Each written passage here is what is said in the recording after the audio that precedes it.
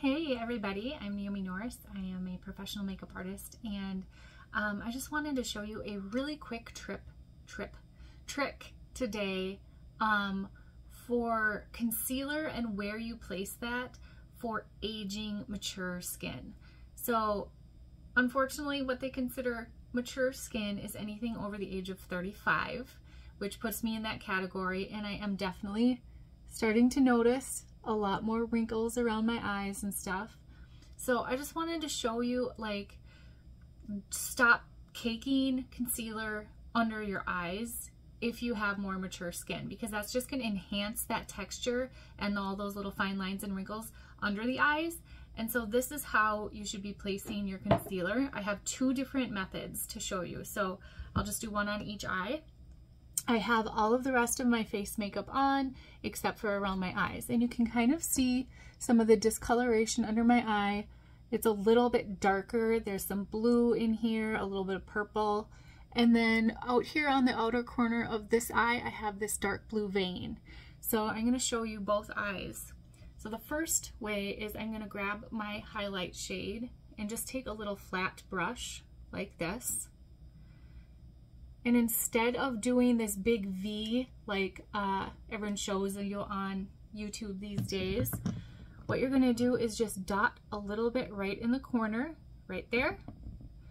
And then you're gonna take it about, just about to the edge of your eye and sweep out like that. And that is where you're gonna, you're not gonna place any concealer right under here. And then just take a little buffing brush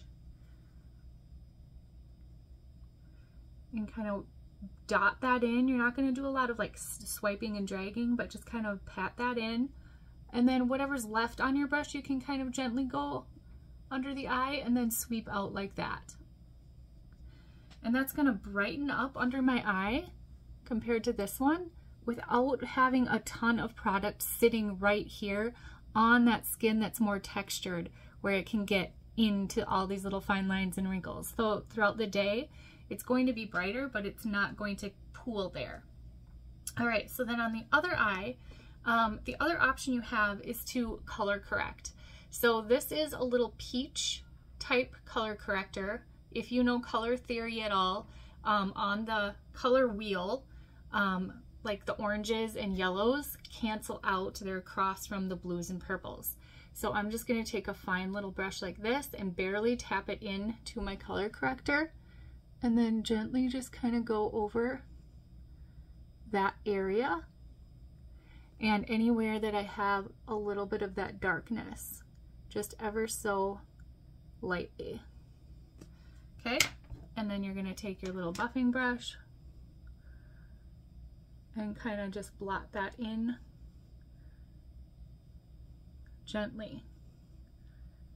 And then I have a little bit of redness right along my lash line. So I'm going to take a greenish color corrector and do that same thing right along the lash line there. And then take a little brush and just kind of buff that out. And that cancels out that red. Now you can stop there because then once you have your um, eyeshadows going on, sometimes I'll buff some right along the bottom of the lash line so that kind of blends in and cleans up any of that green that's left over there. Or if you're not gonna do anything under the lash line, you can just take a tiny bit of that highlight shade and dot it underneath there and tap that in. So these are gonna give you a brightened under eye.